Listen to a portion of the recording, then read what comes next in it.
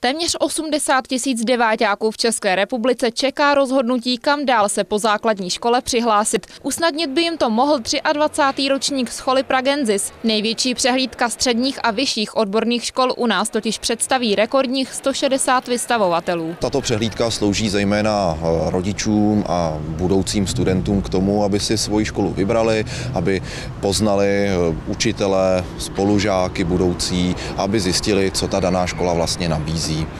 Návštěvníci této přehlídky si tak eh, kromě té tradiční výstavy mohou užít i eh, tři připravené soutěže, anebo si některá řemesla i sami vyzkoušet.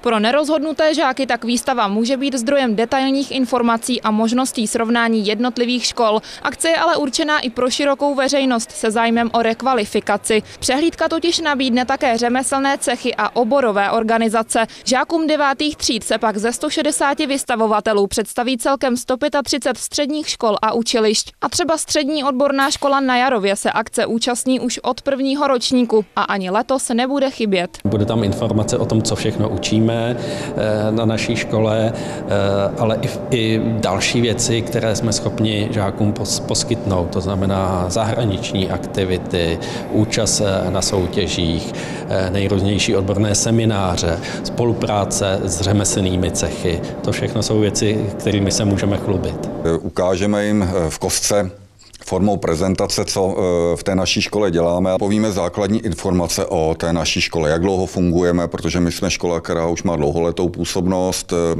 Povíme jim základní informace o výuce, vzděláváme skutečně odborníky v oblasti IT. My to, co děláme, tak děláme doopravdy. Na scholu Pragenzis dorazí každoročně kolem 30 tisíc návštěvníků. Letos proběhne od 22. do 24. listopadu v Pražském kongresovém centru. Kristýna Svobodová, Televize Praha.